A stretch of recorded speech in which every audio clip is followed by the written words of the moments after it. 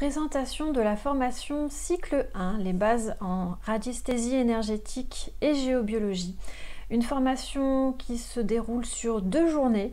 La première journée consacrée au module 1 et 2 et la deuxième journée au module 3 et 4. C'est une formation qui est issue de mes différentes formations, ateliers, stages, conférences, ainsi que de mes lectures. Donc vous retrouverez dans cette formation euh, les bases. Vraiment, vous avez tout, tout, tout en main. Et du coup, sous forme de livret que vous conservez à la maison pour pouvoir ensuite pratiquer euh, la radiesthésie dans un premier temps avec le cycle 1 et ensuite avec le cycle 2 qui est plus autour du magnétisme et de la radiesthésie appliquée donc dans le cadre d'un soin magnétisme. Premier module et on commence toujours avec ce préambule, cette petite introduction importante à mes yeux sur l'importance de demander l'autorisation avant de pratiquer un soin, avant de faire une recherche en radiesthésie, avant de faire quelque chose, quoi que ce soit en, énergétique. Donc ça, c'est le module 1 et le module 2 qui ressemblent beaucoup à l'initiation au pendule. Euh, sauf que là, du coup, vous avez une deuxième journée, module 3 et module 4, pour aller plus en profondeur et davantage euh, bah, vers ce qui, moi, me parle par rapport à la pratique du pendule, vers la radiesthésie médicale. On commence avec l'art vibratoire. Les différents outils pour pratiquer les recherches, que ce soit en radiesthésie ou en géobiologie. Donc là, les différents outils, mais vous avez aussi évidemment le pendule et on en parle à la fin les vibrations et leur rayonnement, pour comprendre que tout est énergie, absolument tout ce qui nous entoure émet une vibration. Et donc le travail en radiesthésie va être de se mettre en état de résonance par rapport à toutes ces vibrations. Donc on parle aussi de syntonie euh, et d'ondes de forme. La radiesthésie, définition les domaines d'application de la radiesthésie et ils sont nombreux. Et donc moi je m'oriente vers la radiesthésie médicale euh, par rapport à la suite de, ce cycle 1. Voilà, les différents domaines d'application. Les capteurs du corps humain avec le petit schéma pour comprendre qu'en fait, nous sommes tous capables euh, de pratiquer la radiesthésie. Nous sommes tous capables de pratiquer le magnétisme sous certaines conditions. Et donc, je vous explique un petit peu ces différentes conditions, notamment par rapport à la radiesthésie dans ce cycle 1. Tout d'abord, le lâcher-prise, l'importance primordiale de mettre le mental de côté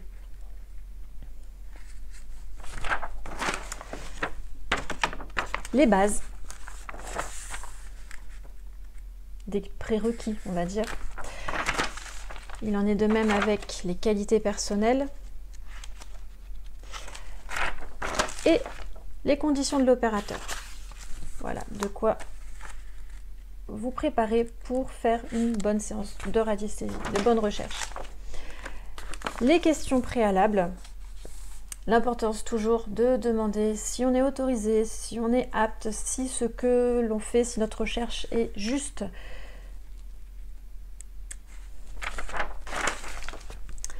La recherche. Les différentes questions à vous poser lorsque vous faites une recherche au pendule. L'importance de disséquer les questions.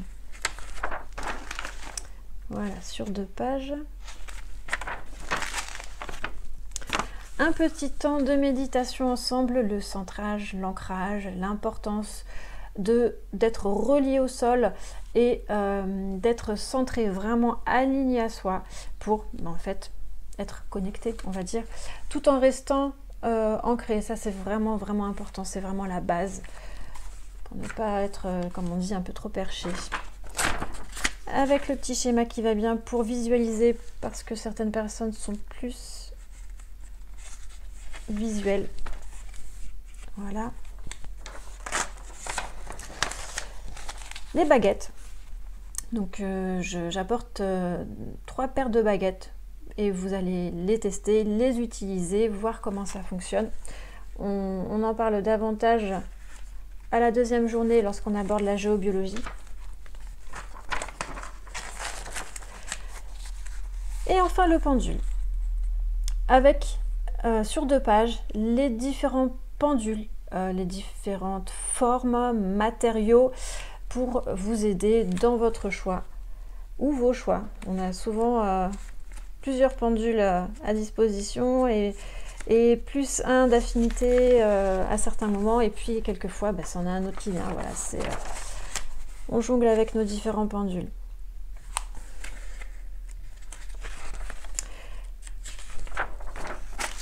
Voilà, les, les différents pendules. La première matinée est terminée et on enchaîne l'après-midi avec le module 2. Quelques petites notions de polarité.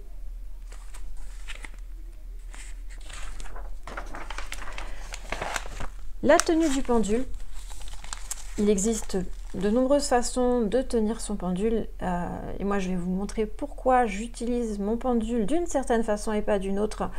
Euh, question de, sensation, de ressenti. Après, libre à vous de faire comme vous le souhaitez. Hein. Premier travail au pendule, le sens linéaire, où là vous allez rentrer en état de résonance avec ce trait, ce qui est aussi une onde de forme. On continue avec la giration à gauche, à droite, toujours en état de captation de la forme, en laissant son pendule faire, en mettant le mental de côté, l'oscillation. Second exercice où on va stopper le pendule. Le témoin. Un exercice pratique avec deux enveloppes, une enveloppe contenant ce même dessin et une enveloppe vide et vous allez apprendre à rechercher le, même dessin en vous connectant à cette onde de forme. Donc on va travailler tout ça. Test. Là, il s'agit de différents petits ateliers dans la salle euh, alors avec soit utilisation d'un témoin ou sans utilisation de témoin, et dans ce cas-là avec une petite phrase très particulière que vous pourrez après adapter selon vos ressentis, voir ce qui vous parle le plus. Euh, premier, premier exercice de détection de recherche avec le pendule. La convention mentale, comprendre votre pendule lorsqu'il vous dit oui et lorsqu'il vous dit non.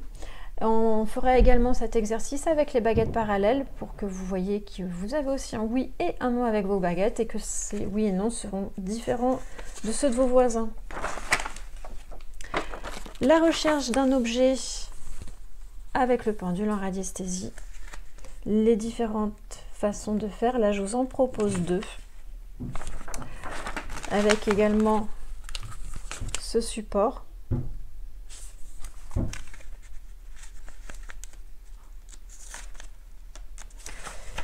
Et on continue avec les abacs.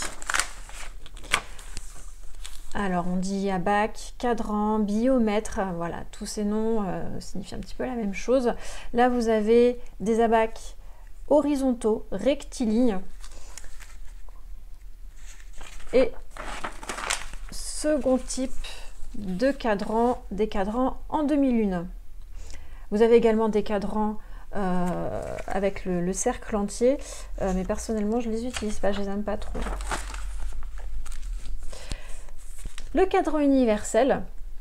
Alors là, en fait, euh, il vous sert pas à grand chose, si ce n'est à aborder le thème de la construction, la personnalisation de cadrans que vous pouvez faire via ce site internet qui est très très bien.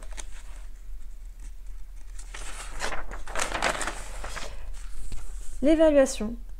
Et ça, on s'en sert en magnétisme aussi pour voir le pourcentage de réussite d'un soin et s'il faut continuer, faire autre chose. Le cadran météo, un petit travail pratique euh, pour euh, déterminer la météo dans un endroit précis, à une heure précise, et vous verrez l'importance de bien poser la question. Question précise. Hop. Alors, voilà, le nettoyage du pendule qui va de pair avec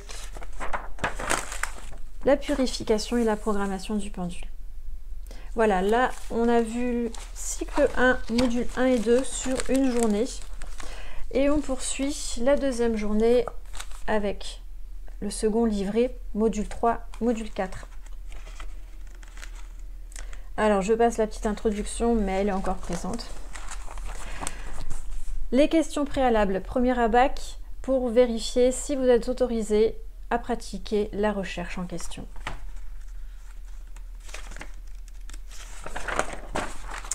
Et si vous ne l'êtes pas, on va chercher à savoir pourquoi. Donc vous avez un premier abac qui s'appelle la caisse de dépannage. Et un second, les erreurs. Et là, on rentre du coup dans la radiesthésie médicale. Euh, des abacs qui vont vous servir plus tard à fabriquer votre propre check-up radiesthésique pour pouvoir faire euh, le bilan énergétique de la personne qui va ensuite recevoir un soin en magnétisme. Premier cadran, l'état.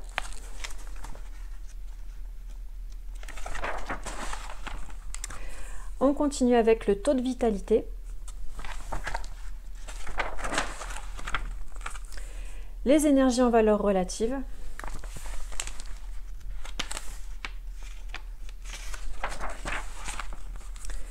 le niveau de stress,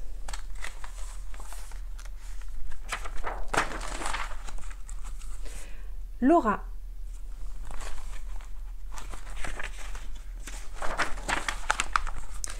les origines des troubles, et là, il est possible qu'il y en ait plusieurs, donc on verra comment faire pour chercher s'il y en a plusieurs.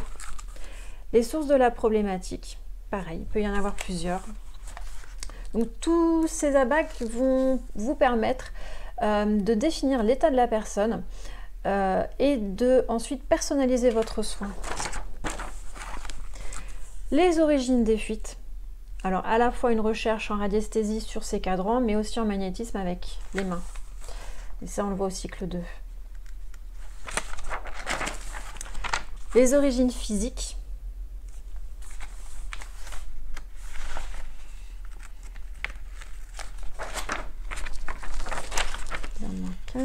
Voilà, les origines énergétiques. Voilà pour les premiers cadrans. Comme je vous disais, on apporte beaucoup de choses, c'est pas juste de la radiesthésie. Euh, là, on est dans l'énergétique pure. Ce sont les différentes structures énergétiques, les différents corps qui, euh, nous composent. Il n'y a pas que le corps euh, physique, il y en a d'autres. Et, donc, je, vous en parle, je vous explique pourquoi c'est important de les connaître avec des définitions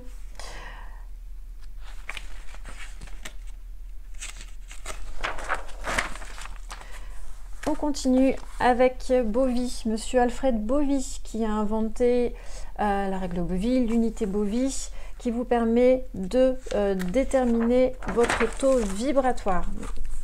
Avec tout d'abord cette échelle. Mais il est aussi possible de déterminer ce taux vibratoire avec un cadran demi-lune. Gardez en mémoire que si on vous donne votre taux vibratoire, c'est important de connaître l'échelle. Euh, jusqu'où va le cadran euh, de la personne? Qui a pris votre mesure pour pouvoir euh, avoir une valeur juste, correcte? Parce qu'un nombre comme ça dit tout seul, ben, ça ne veut pas dire grand-chose. Donc c'est important de, connaître cette échelle. Les différentes façons d'augmenter votre taux vibratoire. Alors un abac, mais ça, ça, aurait très bien pu être une liste. parce qu'en fait, on a quelque part besoin de tout ça. C'est une question d'hygiène de vie, je dirais.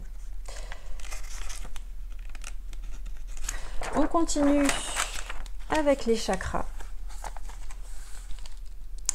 et une explication détaillée euh, de, tous les chakras détaillés, mais ça reste succinct. C'est-à-dire que si vous voulez aller plus loin, ce sont des notions, des bases. C'est le minimum, mais il y a de nombreuses, de nombreux ouvrages euh, qui détaillent davantage les chakras. Donc là, vous avez le, détail harmonisé, défaillant, euh, les différents symptômes physiques, à savoir qu'un chakra n'est jamais fermé, totalement fermé sans ça. et vous êtes mort. Donc non, les chakras, ça tourne, euh, ça vibre, ça émet de la couleur, ça émet euh, des vibrations particulières. Après, chacun va avoir ses propres ressentis. Et voilà, c'est important d'avoir des notions sur les chakras. Donc toujours les chakras. Et avec votre pendule, vous allez aussi pouvoir déterminer le taux de vitalité des chakras de la personne à, qui vous allez faire un soin. Donc ça, ça fait partie aussi du check-up en radiesthésie, euh, une mesure que vous allez prendre avant le soin et après le soin pour voir l'évolution de votre travail. Le taux de vitalité des chakras,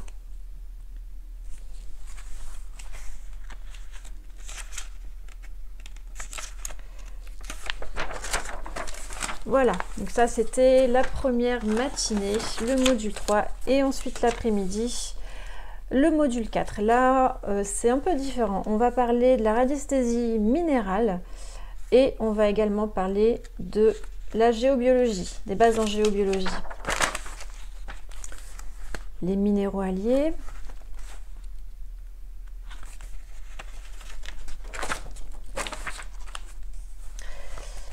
un magnifique livret fait par, euh, une très belle personne, euh, donc c'est pas de moi, hein. euh, sur les différentes pierres. Donc c'est un petit peu comme si vous aviez avec vous un petit livret interne avec les principales pierres comment, comment les nettoyer, comment les utiliser. Voilà, sur deux pages recto verso. Et on continue avec la radiesthésie médicale. Vous allez rechercher pour vos différents chakras quelles sont les pierres que vous pouvez utiliser pour les réharmoniser. Il existe de nombreuses techniques pour réharmoniser les chakras et il est possible de le faire avec la lithothérapie. Là, voilà un petit tableau pour prendre vos mesures. Donc en haut, c'est les mesures de euh, l'état, l'aura, le stress, le taux vibratoire, les énergies en valeur relative et vos différents chakras avant l'utilisation des différentes pierres que vous aurez sélectionnées au pendule. Et ensuite les mesures après avoir positionné ces différentes pierres sur vos chakras et voir un petit peu bah, l'évolution, le travail que ces pierres auront fait sur vous. Donc là, vous pouvez le faire sur vous, vous pouvez le faire sur autrui avec autorisation.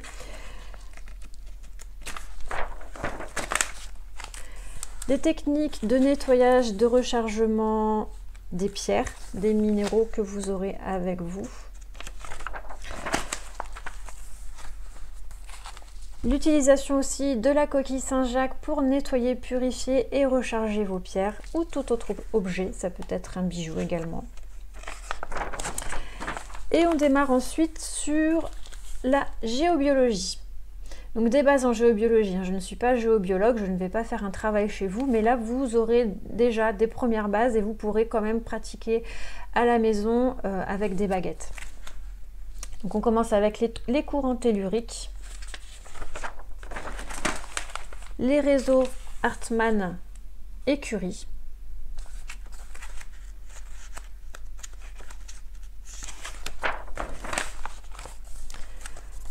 Le point géopathogène.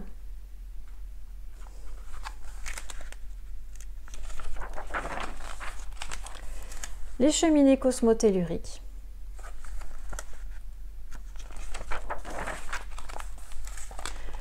Les vortex.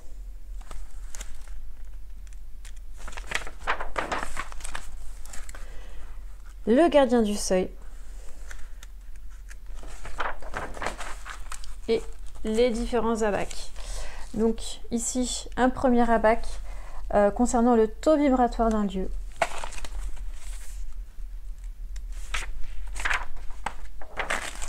Le géodynamomètre.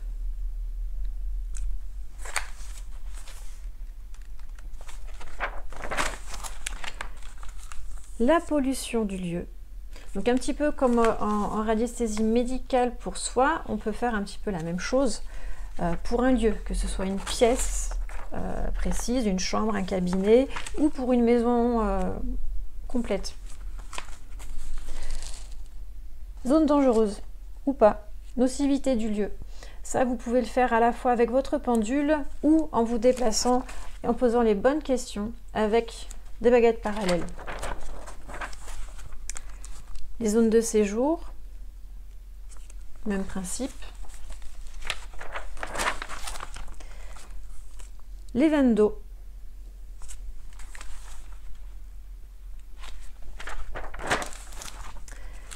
La circulation des énergies.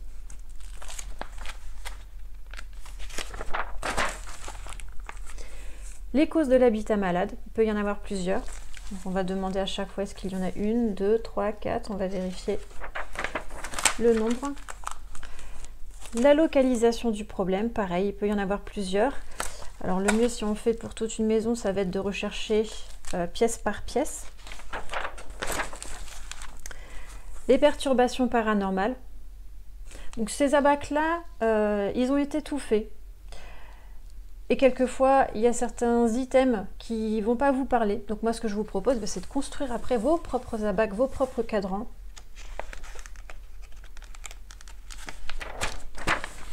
La mémoire des murs.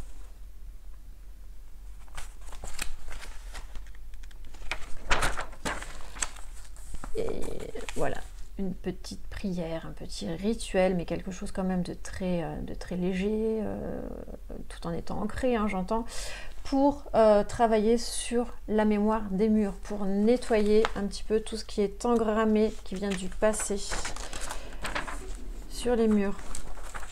La mémoire des lieux,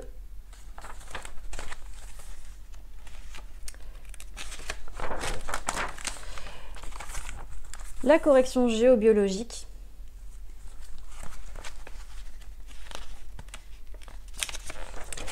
Et on termine avec élever les vibrations d'un lieu.